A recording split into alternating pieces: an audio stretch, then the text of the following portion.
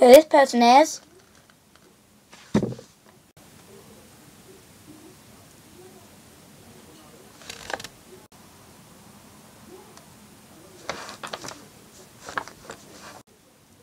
Best friend of the week.